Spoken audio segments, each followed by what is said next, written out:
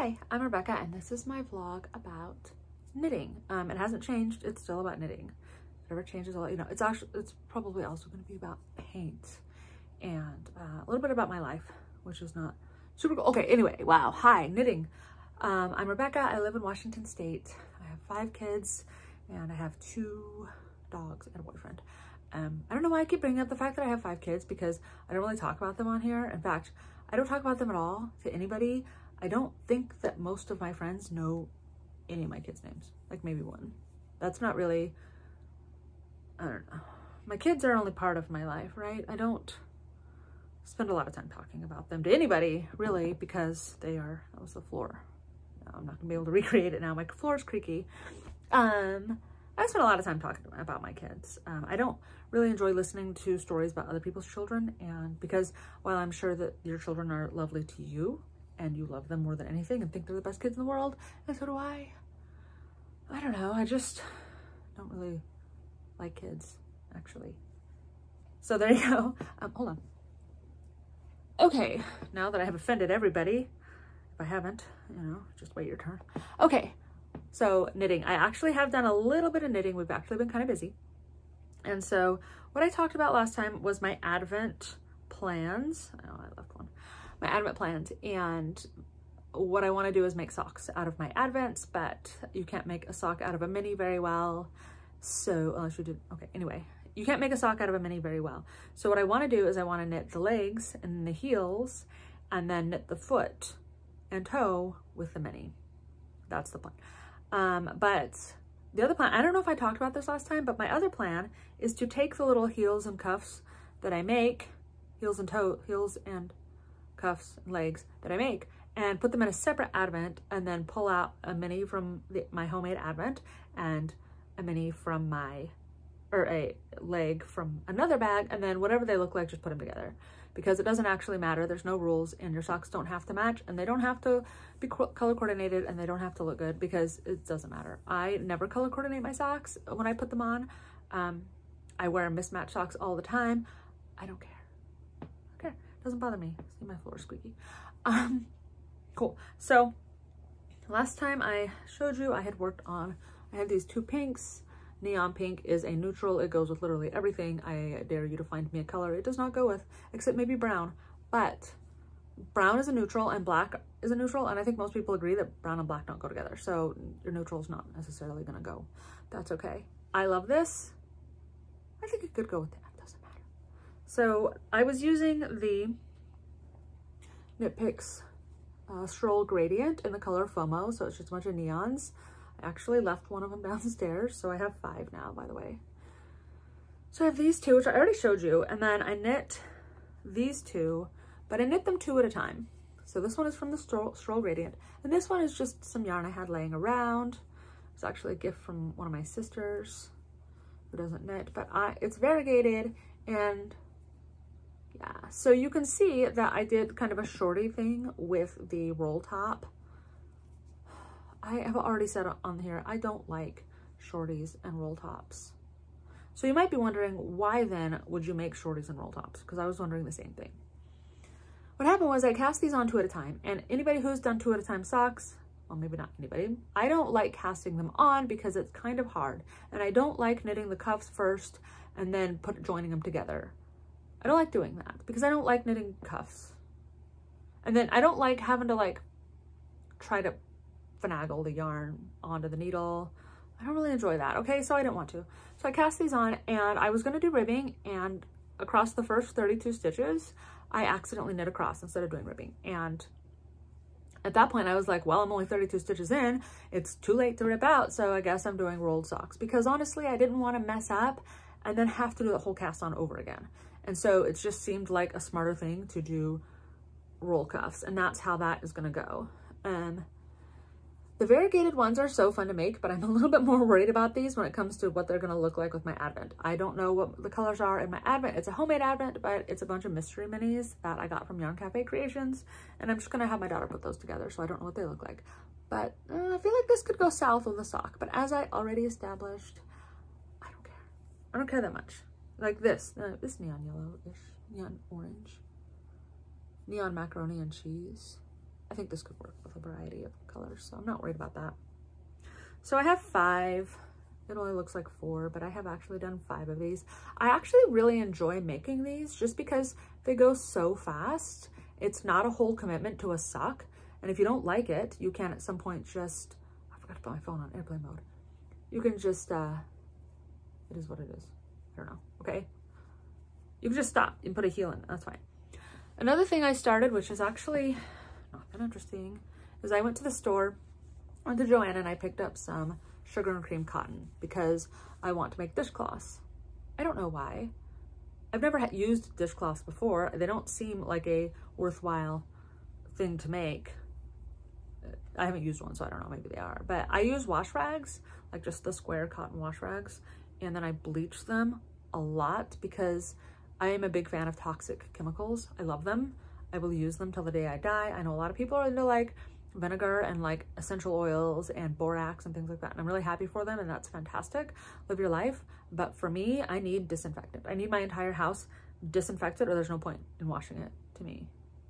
Right? Okay, so I go heavy and hard on the Lysol and the Pine Sol and the bleach and uh, all of that stuff. But I was like, well, I could do this. But I had to get white because bleach, right? I think we established that. Bleach. So I made um, one of the grandmother's favorite, granny's favorite dishcloths and I'm going to show it to you, but I don't make these because the only other time I've tried to make them, I, I don't, I'm not good at it. I'm not good at it. So I'm going to show you exactly what kind of happened. It is more of a kite shape than it is a square. Because you know why? I'm going to tell you why. Because I don't, I always get into this mindset of it's just a washcloth. It does not matter if it's messed up and it's so easy that you can't mess it up. But so we were watching TV last night, me and my girls, and we, I just sat there and knit this dishcloth and I used size fives and it still came out huge, even though all the patterns come for six, call for six and sevens, but I'm a really loose knitter. So I thought it would be fine. I don't really enjoy it. I don't like having to do the knit two togethers and the yarn overs and remembering what you're supposed to do and where you're at. Obviously, obviously, I just don't like it. So I just didn't do it well. So then the next thing I did, we watched Legally Blonde last night, which is so fun. My daughter did a musical. I don't talk about my kids. My daughter did a musical, Legally Blonde, and so we wanted to watch it. Um, the, the musical is better. Um, so then I just cast on 32 stitches and just knit until it looked like it was a square. And see how this one looks more like a square? And I just wung it and it looks more squarish. I'm going to weave in the ends but I think that this is good. All my wash rags that I have are like disintegrated now because I've used so much bleach on them. I'm probably destroying my septic system with the amount of bleach and sanitizer that I put in my washing machine, but I can't stop. Okay, I'm not gonna stop doing that. I know that laundry detergent washes things theoretically, but I just don't trust it enough to get everything, all the germs off. Um, I have obsessive compulsive disorder, actually, in case you didn't notice. and everything has to be disinfected because I don't like germs. Yeah, okay. So that is the knitting I've been doing lately. I haven't really cast, that's so boring, I'm sorry. I haven't really cast on anything difficult. I haven't worked on that Turkish Kurdish shawl that I was supposed to be working on, and I explained the reasons for that. I think this summer I'm actually going to be doing a lot more knitting just because the kids won't be in school and when the kids are in school I actually feel like I have less time to knit because I have to get them up, I have to get them ready, I have to get them out to the bus stop and then because I'm home by myself I feel like I have to justify my position as the stay-at-home person. So then I end up cleaning a lot more because you know if the kids are home I can just be like no I took care of the kids all day. Here I'm talking about my kids again. I just took care of the kids all day and I kept them from, you know, danger. So that counts as doing something that, that validates my reason for being home. But when they're not here, God, I have to do other things sometimes. I feel more guilty. Um, we finished the wall. I might put on another coat. We're not, I'm not 100% sure. This is Black Emerald by Sherwin-Williams. When it's not in the right lighting on this, it looks, it gives chalkboard, I think. And when it's dark, it looks black but that's okay. I'm gonna figure out the lighting situation. But I did bring the paint can because I wanted to show you guys what it's supposed to look like and I tested this and the paint can actually works. So this, maybe it works. I tested this earlier. Maybe it works. Like, look at that green. It's like the darkest forest green ever. I'm kind of afraid to show you guys. I don't want it to, okay. Oh my gosh. I'm going to stop talking about it, but I am so excited that we painted my bedroom this color. I, well, the one wall. We're doing an accent wall. I know they're on their way out, but I don't care. I don't want to paint my whole bedroom this color. Oh, I'm so excited, guys. I'm going to have to start painting with the marshmallow so you can see what they look like together because it's going to be so fab. Okay. Um, we downed a bunch of trees in our front yard. Uh, we had like 10 trees in our front yard and it's not even a big front yard. So these trees were like all compacted together and blocked any kind of view from the street. And it just made our house look kind of ugly. Believe it or not, having all the, it just didn't look good. So we ripped them all down and now we are in the process of moving all of that wood and branches out of our yard and into the yard waste place. We got a dump trailer and it actually wasn't expensive. We have 10 trees, but they were kind of like and some of them were smaller and then they weren't huge, but they were kind of tall, but we only paid $1,500 for that, which was crazy. And the only reason I'm telling you that is because we didn't do it for years because we thought it was going to be more like 15 or $20,000 and not everybody has that kind of money. I, I don't have that kind of money laying around. So we didn't do that. You know how much yarn you could buy for $30,000? You could keep your trees and then just buy $30,000 worth of yarn. And that seems like a much more worthwhile investment, but it was only 1500 so that's not bad. Um, we just didn't pay the extra 1500 to have them haul it away. So now we're stuck doing it. And when I say we, I mean my boyfriend, but I've been a cheerleader. So that counts. That counts, but then I feel guilty and I can't sit and knit while he's out doing hard labor. So then I have to clean the house and it's not fun. It's not fun. But we did do that and it's exciting. Um, I have to go see my doctor today. So that's going to be super exciting. I've been talking about that a lot on my Instagram stories, probably more than anybody cares about, but been documenting that, my experiences with that. And so we'll see how that goes. My daughter had her Legally Blonde musical. They've been working on it for months. She's been at school for 12 hours a day, five days a week, practicing for this play basically, and the musical. And it was so good. And uh, highly recommend if you ever get a chance to see a high school production or a Broadway production or whatever of Legally Blonde musical, fantastic. The movie's fantastic too. It's one of my favorites. I've seen it like 50 billion times, which is weird because I don't like movies like that, but that's not, that's, that's irrelevant. Socks, dishcloths. I don't know what to make. I don't know what to make. Nothing sounds fun or exciting. I'm thinking about just casting on a boxy. Maybe. I don't know. Tomorrow or Friday's crazy hat day, so I thought about making my daughter crazy hat and I didn't know what to do. Maybe the fish, you know, the fish hat. Everybody knows the fish hat. Then I went on Amazon and it was like I could buy a crazy hat. I could just go buy a crazy hat for a dollar and stick a bunch of googly eyes on it and it would probably be fine, right? Like I don't have to go through the effort of making a hat that she's only gonna wear once.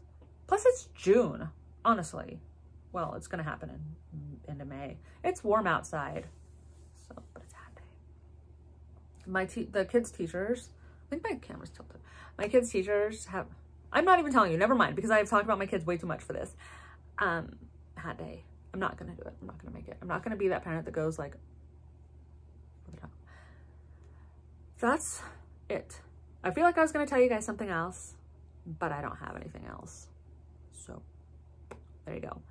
I will see you guys another day at some point. I think I have a couple things going on this week, so I'll probably get my makeup done. And if I get my makeup done, it's like I might as well sit down here for 15 minutes and talk to you guys.